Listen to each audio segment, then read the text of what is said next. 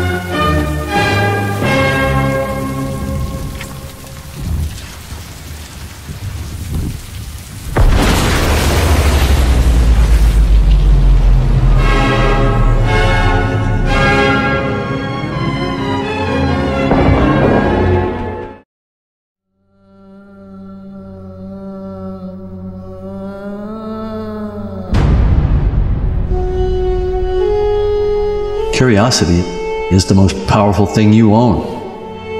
Imagination is a force that can actually manifest the reality.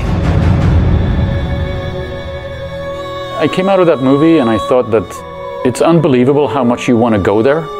And it's interesting how they have created that feeling that Pandora is actually a place and a beautiful place where you think you would like to be.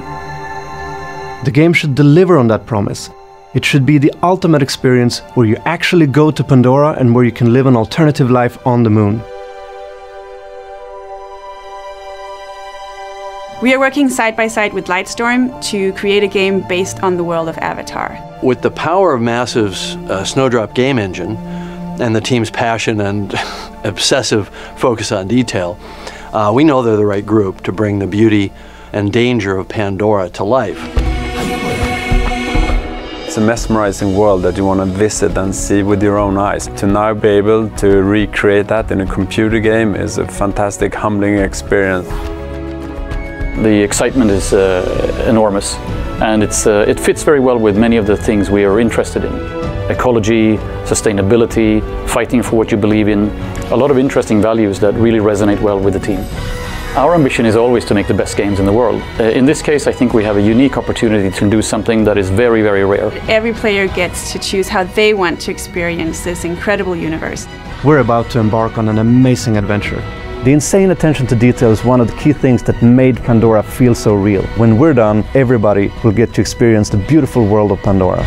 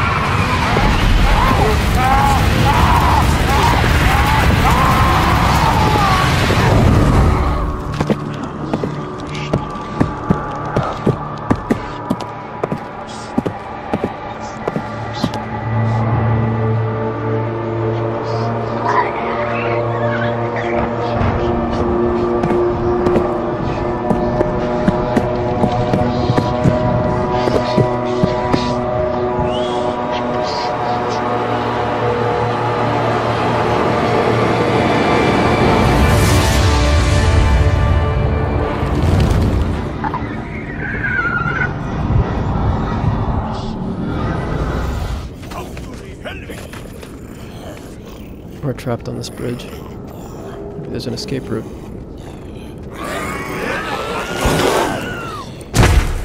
Okay, I think we're safe.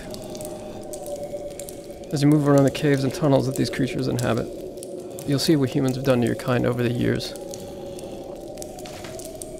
Sneak to safety. No, one of the things about being a young creature is that you you can crawl into spaces that no human could follow.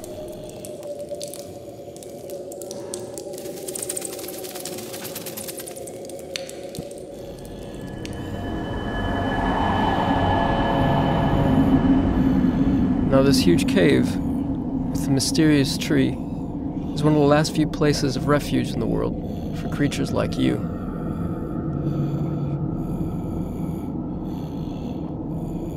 So that's the world through the eyes of a young creature, running away from even the weakest human. Now we're going to go forward in time and see the world through the eyes of a larger, more powerful adolescent creature and see what they're capable of doing.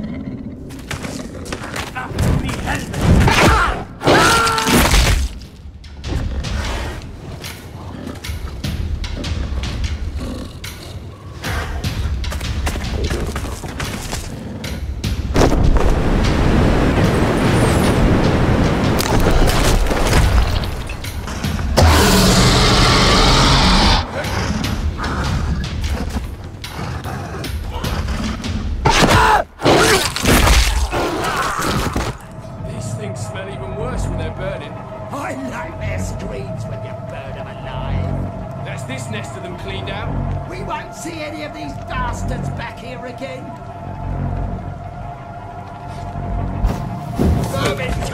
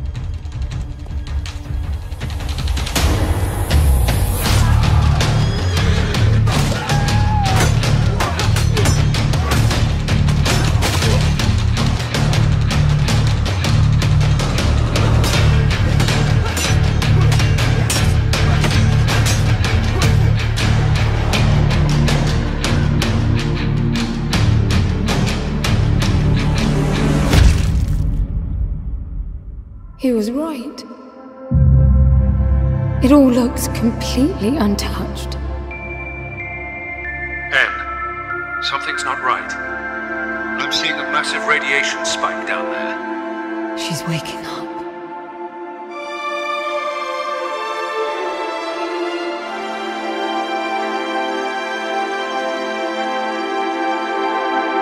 In Echo, you must survive the strange workings of the palace. It studies everything you do, everything you are, to use it against you. What is this? That's you, Anne. The Echoes are exact copies in every way. They behave like you, and only do the things you do.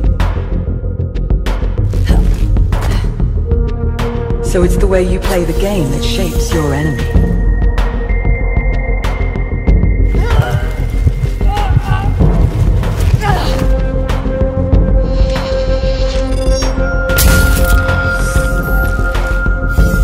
Every interaction, every movement has consequence.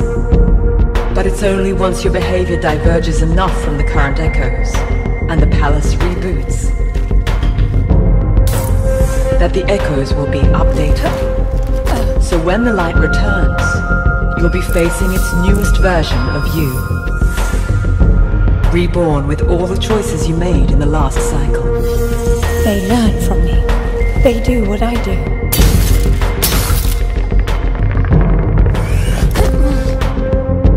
The palace watches everything you do in the light. But in the darkness, as it reboots, it blind. And you are free to act without consequence.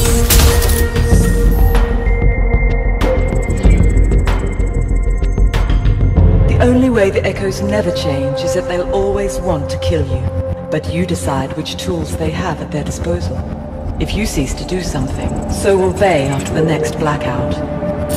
Always stay a step ahead of the Echoes. And keep a cool head if you want to survive the palace.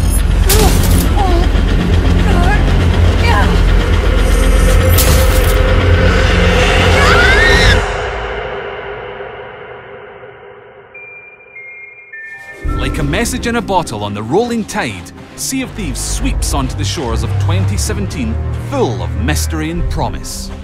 All the new features of Update 0.1.1 mean that players picked for our next playtest face the dangers of an expanded world and a skeletal uprising as they venture far across the open sea.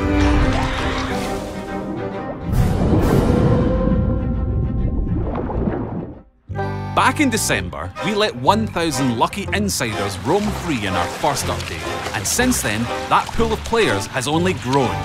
As we've pushed back the boundaries of our world, you and your fellow rascals will now find many more places to plunder. How many more? Nobody knows. Well, we do, but there's no point in spoiling it, is there? Within this indeterminately larger world, players will discover new islands presenting new challenges and opportunities. One might come with a hidden cove to anchor in safety while you shovel up loot. Another might let you perform a daring getaway after grabbing another crew's gold. Just look before you leap, as fall damage is now definitely a thing. More islands also mean more outposts, increasing your options for hustling chests safely back to the shipwright. This should make it easier to avoid the ganking that some of you feared during our first update, which is how the cool kids refer to treasure-related blunderbuss incidents. While you're off adventuring, make sure you don't let your guard down, not with the rattling remains of long-forgotten pirates prowling the islands. They may be gutless in strictly biological terms, but these old scallywags will still come right at you with rusty guns blazing, so your crew members need to watch each other's backs. So that's our latest update. There's still so much more to come, but for now, we hope you can join us to search and skirmish your merry way through the new, wider world of Sea of Thieves. Cheers!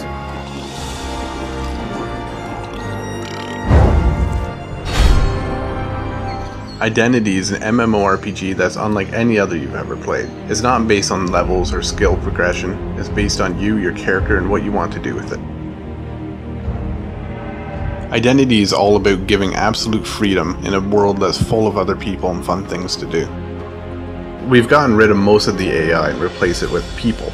It's people who are driving down the street, and it's people who run for governor, it's people who play as police officers and fight crime. You'll find sports, car racing, paintball matches, and more others than I have time to list. And if living off the land is your sort of thing, you can make a pretty good living hunting or fishing.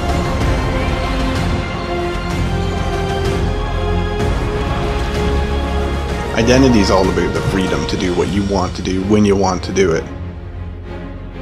While Identity is an MMORPG in most ways, we're going to be offering you the option to rent your own servers too. So if you want a different, more specialized style of gameplay than our official servers have, such as maybe hardcore role-playing or some kind of like endless action, server operators are going to have control over hundreds of features to customize what they want. Agent Watertown, the suspect in custody. Nobody's coming the perimeter. It's still a hot scene. 10 If you're somebody that likes to take the quiet route, you can form a business and play the market, or you could take the other way. You could become a criminal, you could rob people, you could rob banks, you could steal cars. Everything is open for player interaction. The land identity is enormous with all sorts of landscapes from cities, farms, and wilderness. There really is so much more I wish I could show you with this, but we've only just gotten started here.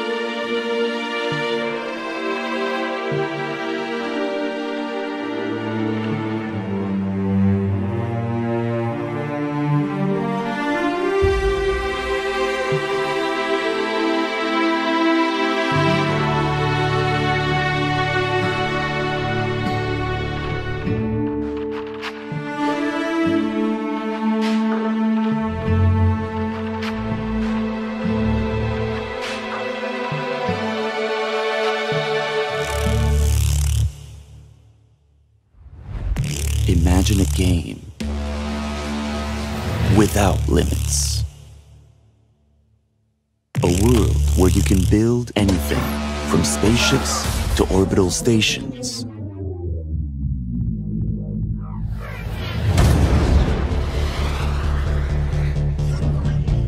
Explore, craft, trade, and conquer, all in one universe, shared by everyone at the same time.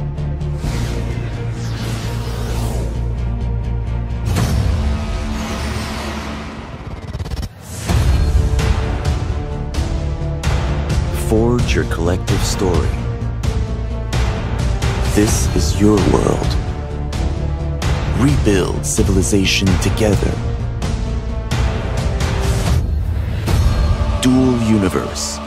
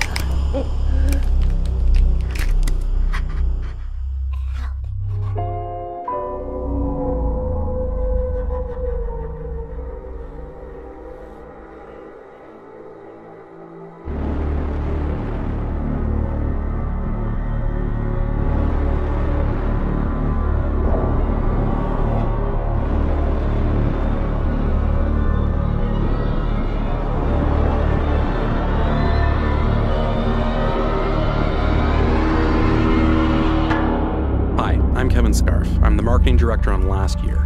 Last Year is an asymmetrical multiplayer horror game where one killer has to hunt down a group of teenagers. I'm playing as the Slasher, one of three playable killers that ships with the game. The game is set on Halloween night in 1996. We've been meticulously crafting a universe that draws you in and puts you in the center of your own 90s horror film survivors can actually fight back with weapons. So being the killer means you need to be smart and creative with how you attack your victims. One of the best ways to do this is with Predator mode. This lets the killer unspawn and turn invisible at any time. The killer can then move extremely fast, completely invisible to the other players, and use this to plan the perfect ambush or toy with the survivors. To spawn in or out, the killer has to be out of sight, or use the environment as a spawn point. There's a couple of survivors now. It looks like Chad and Troy. They might actually have weapons already, so it could be risky to try and attack two people head on. What I'll do is unspawn and look before I plan my attack. First, I'll place a trap here. Last year's filled with different environmental spots, like this trapdoor, that the killer can use to separate survivors from one another. Now I'm going to actually use that skylight up there as my spawn point. Now that I've trapped him, I'm gonna go in for the kill. We hope you enjoyed this preview of last year. We look forward to sharing more gameplay features with you in the future.